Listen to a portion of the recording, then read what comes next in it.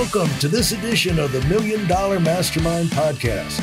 This is where we pick the brains of high achievers from all walks of life and get their hard earned, real world insights on winning. I'm your host, Larry Weidel.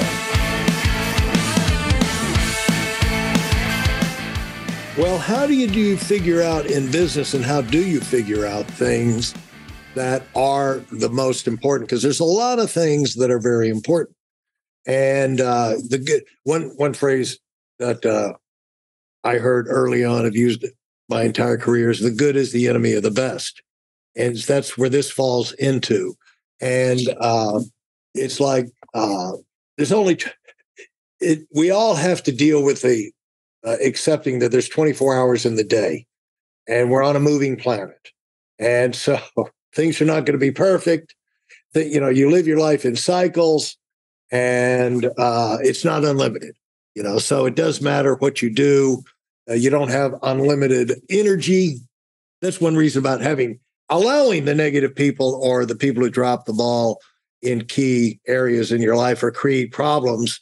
It's like a radio station. You cannot listen to the radio station with static you know, you're either going to get rid of the static or you're going to turn it off or you're going to switch it on to a channel you can hear.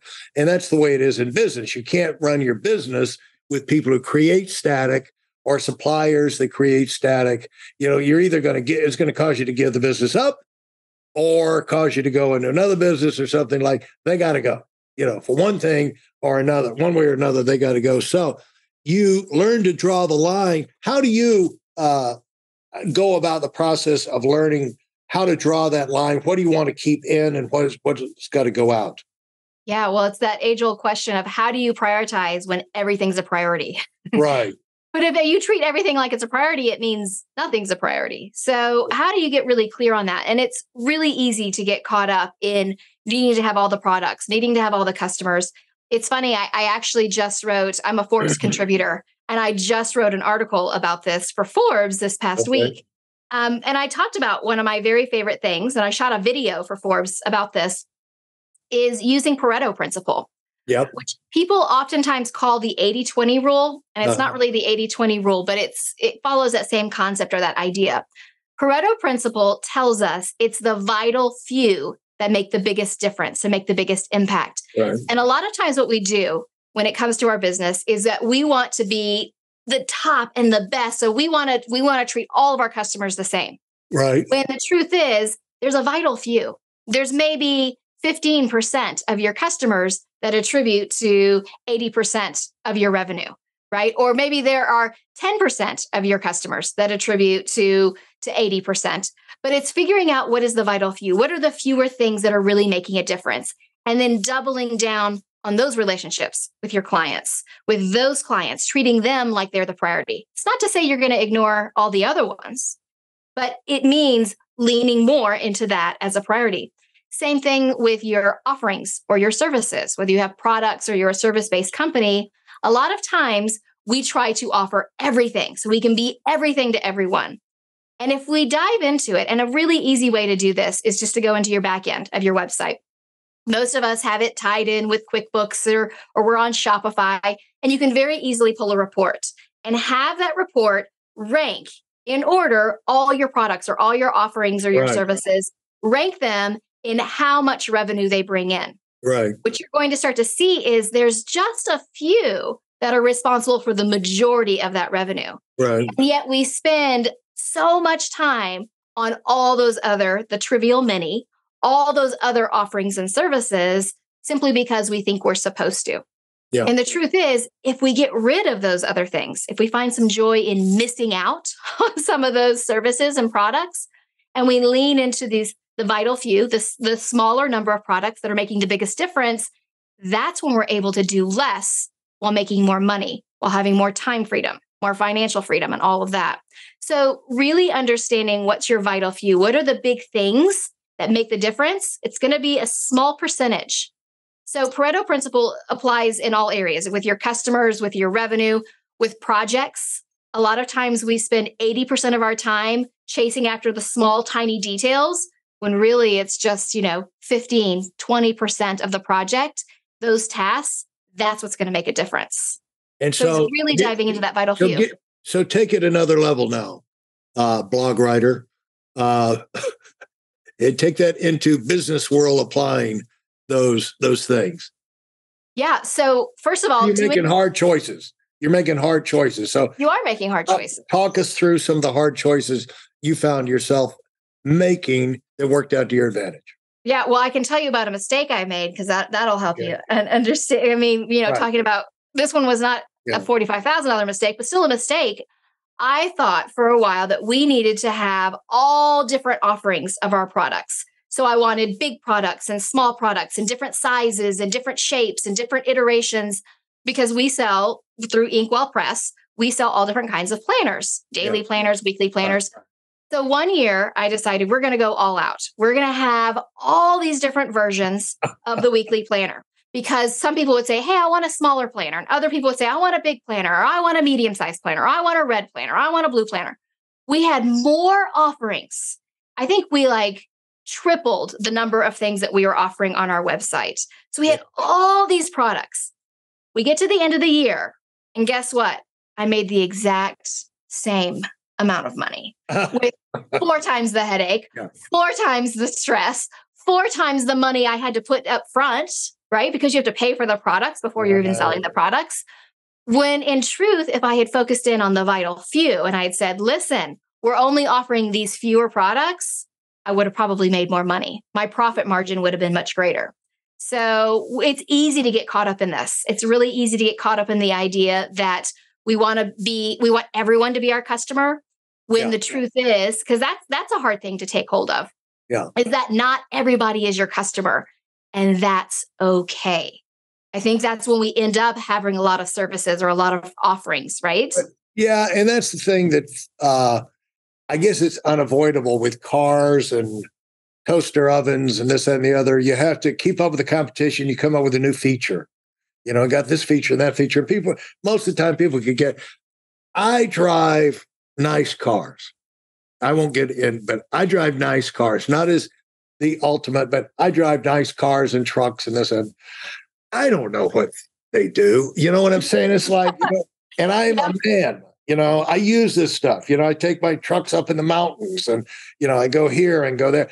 But other than having to know, you know, mm-hmm. how to get into four wheel drive and, you know, a few things, I don't, you get the greatest sound system and you can adjust the volume. And, you know, I have to wait till someone drives, you know, rides with me and they get in there, you know, like my younger son or either one of my sons, they get in there. Hey, you got air conditioned seats. They're like, oh, really? And I uh, had no idea and then it takes me. They have to ride with me about ten about ten times before I finally remember how to turn those things on. You know, so when they're not there, but uh, most people care less about the features. But you can So easily get So true. caught up in that where you know I'm going to be left behind if I don't. Uh, you know, the, you know, that's the way to stay up with the competition. Feature, feature, feature, feature. well Most people think- just bores them to death. Yeah, that's the mistake we make. That's the mistake we make a lot of times with our products, with our goals. We look around at what everybody else is doing and we're like, oh, they're doing this.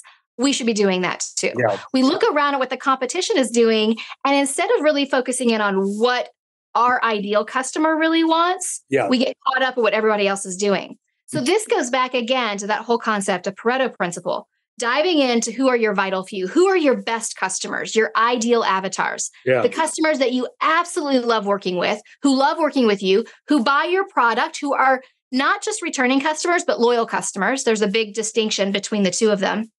Who are those loyal customers? And then when you understand that vital few of your customers, what is it they want? Yeah. What are the features that are important to them? Yeah. Because you know what? Then you're going to attract more of those ideal clients. So stop looking at what your customers or your competition is offering. It, Yeah. it doesn't matter. They may not be talking to your ideal customer avatar. Think about who your customers are, tap into them, and create more of what they want. And Yeah. that's how you create a win-win. And that's that's how you don't get caught up with having all the things and all the bells and the whistles and the needless I think uh, uh, you have good and bad uh, in example of this in the restaurant world. My son and I were up in New York in April, and uh, there's there's a place called Skirt. I think it's called Skirt, and you go in concrete floors, bench seating, long bench things. You just have to you know get on the bench. They serve water, tea, maybe coffee. They serve unlimited salad, French fries, bread. They don't unlimited bread, but they they have a plate you can order some bruschetta or something like that. The rest of it is skirt steak. Skirt steak, that's it. You know. And I bet it's probably the best damn skirt steak because that's all they do. It is fabulous. And I we were talking to a guy across, you know, we're sitting next to us, and he was in from uh he was a professor in from uh LA and he had spoken at a conference earlier that day. He said, I wanted, to, he said, I wanted to eat here last night, but the line was all the way around the block. And so when I came, came in early uh, tonight and I saw there wasn't a line, I immediately be beelined over. but uh, you know, my and my son was eating. He said, you know, if they had one of these in in uh, Greensboro High Point, uh, he said uh, I'd be eating there three times a week. You know, and so maybe look for a skirt to be in your neighborhood soon. But it can't be that expensive to open, but just cutting it down to the basics like that is uh that's an um, operations dream. Yeah. I mean, it really is. You look at these restaurants that offer 5 million plates. You look at something like Cheesecake Factory, yeah. that's an operational nightmare. It really is. And making sure that everything is fresh and in stock and all of those things and and what I think is interesting is this: he wanted to eat there the night before. Right. The line was around the building. Yeah. Because everyone knows you want skirt steak. Yeah. This is where you want to go. And so it's that whole idea and that concept of doubling down on what you're good at. And, and the customer service was fast, you know, because they, you know, I mean, because they're not worrying about like, hey, is the pasta ready? Is we got to time this with the lobster? I mean, it's again, an operations dream, yeah. clearly doing well. I think this is exact. I love that example because that's exactly what we're talking about here. That's yeah. not trying to be everything to everyone. It's like this is what we do. We offer skirt steak, and it's going to be really good because yeah. this is what we do. Thanks for listening to the Million Dollar Mastermind. If you felt there were any valuable takeaways from this episode, please take a minute and leave us a five star review. Your feedback is important and really helps us get the word out to a wider audience. Remember, we have a valuable webinar that is absolutely free. Register for it right now at whitealumwinning.com. Thanks for listening.